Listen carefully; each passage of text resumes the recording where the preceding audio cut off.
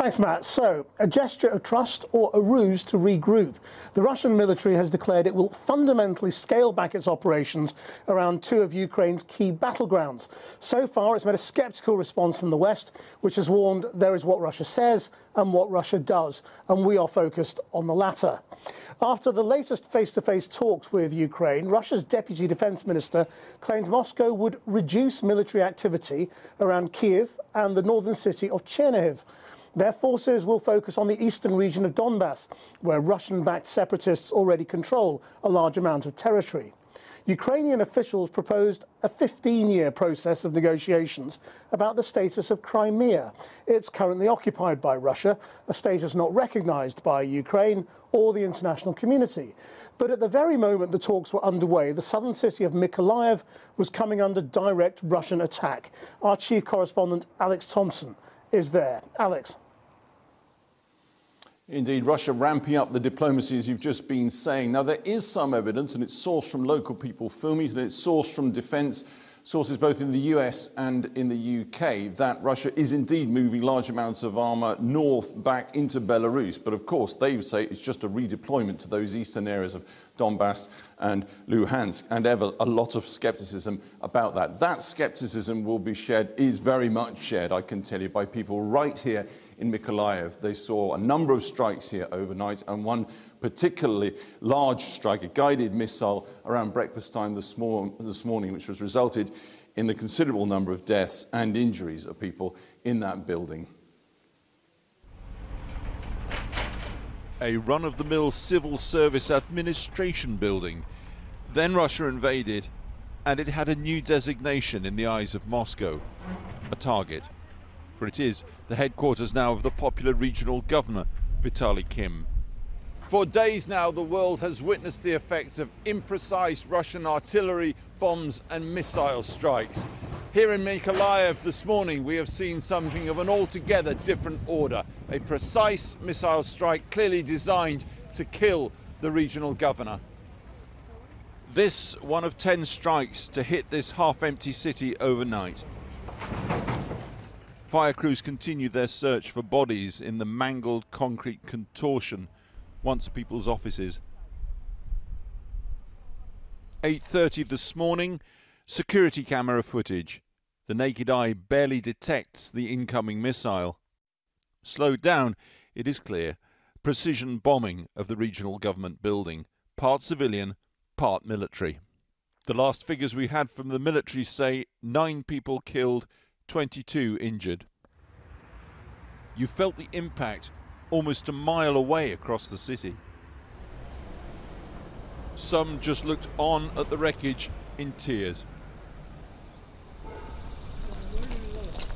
American Roger Hill has lived round the corner from the missile impact for four years. Well, all, all of a sudden I'm sitting at my computer reading the news, the first thing I do in the morning, and all of a sudden, boom, and everything's shaking, and I thought, well, that was kind of close by here. Think regional version of President Zelensky when you think Governor Kim, and you've got it. The semi-military dress code. What can I do? Cry? We're working here. It's a war. Daily broadcasts online to boost morale. The Beamer convertible, fully converted the social media jokes. Try this. A country with a chicken on its flag shouldn't invade one with a fork on its flag. You get the style. In the bomb shelter this morning, our hotel staff understandably anxious, but there was outright joy later when we told them Governor Kim had survived. Across Mykolaiv, they're chopping down the city's beloved trees. But people kept coming up to us and complaining. The trees, she says, incensed Governor Kim is allowing them to be felled, war or no war. Well, at the moment, we're cutting down the trees so that the territorial defence can use them for barricades and trenches.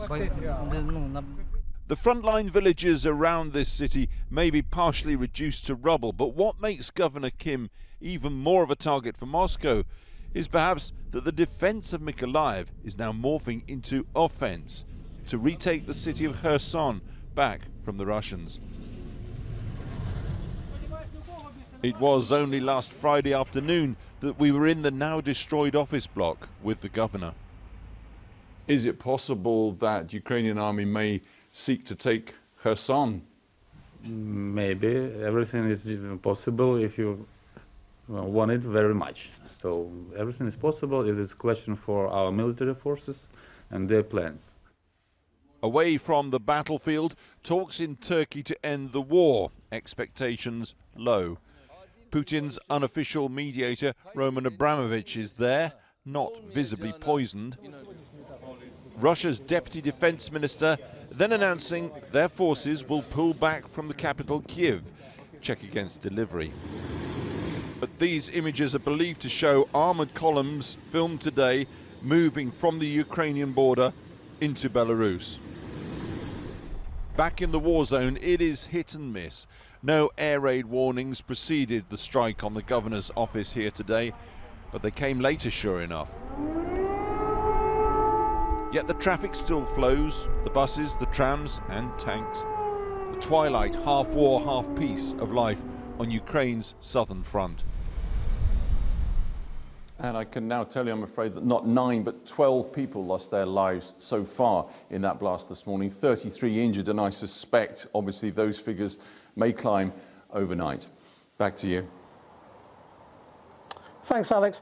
Well, earlier I spoke to Russia's Deputy Ambassador to the United Nations, Dmitry Polyansky, and I started by asking him about these reports that Russian forces are pulling back from areas in the north and whether he could confirm troops are indeed withdrawing. Uh, I heard that uh, the intensity of our operation in uh, Chernigov and uh, Kiev regions will be uh, less than it was before. I haven't heard about any withdrawal. What is the aim of the negotiations now? Uh, I think it's a, peace treaty between Russia and Ukraine and safeguard the population of Donbass, which was suffering for eight years from Ukrainian shelling. Right, so the objective seems to have changed since the beginning of this military action. Um, not, are you saying it is now just about Donbass? If you were attentive at the beginning when President Putin was announcing this operation, he said that this was the operation for bringing peace to Donbass. So demilitarization and denazification of Ukraine uh, and the uh, primary objective was always Donbass. So why did you attack Kiev? We didn't attack Kiev as far as I understand. Uh, we encircled Kiev, and there are our troops uh, on the outskirts of Kiev, but uh, I don't think we attacked Kiev. Well, it depends how you define attack. You've been sending missiles and artillery into the areas approaching Kiev, and your soldiers have been there, and now those troops are pulling back. Uh, as, I, as I formulated at the beginning, at uh, about less intense military operation, but not from pulling back. And uh, by attacking, uh, you mean attacking the city? We didn't attack the city. We attacked uh, military installations. You may not be targeting civilian places, but you're hitting them. Uh, I haven't heard about any uh, occasion of us deliberately hitting civilian infrastructure. Most of the most notorious cases. Are you really that saying being... that every residential block hit has been hit by accident?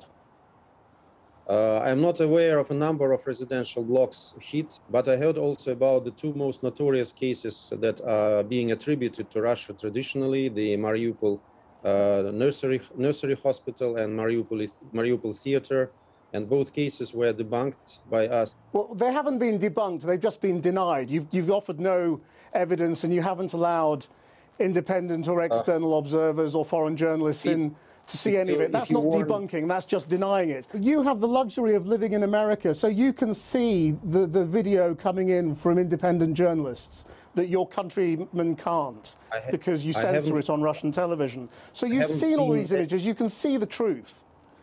I haven't seen any videos coming from independent journalists here, frankly, and I have the disadvantage of living in the United States of America, unfortunately, so of working here. So uh, really, it's not the, the kind of evidence that would be trustworthy to me. I mean, Mr. Polyansky, I don't know whether you can hear, but the air raid siren is going off here, and I'm in Lviv. You told me at the beginning of this interview that you're only concentrating on Donbass. Why are you sending anything into Lviv airspace in the west of Ukraine? I think This has got might be nothing to do with Donbass. It's hundreds of miles away. First of all, there might be some military installations. Uh, secondly, that, that might be some weaponry sent by the West, uh, which is a legitimate target for us, as it was declared. Uh, do if you I may, really uh, believe everything you're saying? I mean, I know it's your job to say this, but do you really believe it? I do believe it, and I have witnesses uh, that uh, in- indicate this way. Are you saying that you, you don't believe there are any innocent victims in your war, that you're not killing people, even if it's by accident? Well, there might be, of course, some uh, collateral uh, collateral victims. Uh, I'm using the American term in this word. Uh, I don't know because if you are putting a, a rocket fire uh, system in front of a if in front of a house, and if this rocket uh, fire system is being hit, of course there can be victims because of this. I just want to ask you the last time we spoke to you and the time Yeah. before that, you assured us that there were no plans to invade Ukraine. You said our questions were hysterical and that the claims that there was going to be a war were ridiculous and strange. And it turned out that there was a war. Now, you can justify it now by saying you were provoked. But Uh, th- the there was a Americans were right, the intelligence was right, the questions were right. Uh, the Americans were wrong in one thing that because they didn't want to acknowledge that Ukraine uh, is uh, planning to, uh, to, to carry out a military operation in Donbass. And again, uh, there is no there is no war. There is a special military operation of Russia in in in Ukraine. These are two different things. The trouble is, you say wh- when the Ukrainians are fighting, it's a war. When Russia is fighting, it's a special military operation.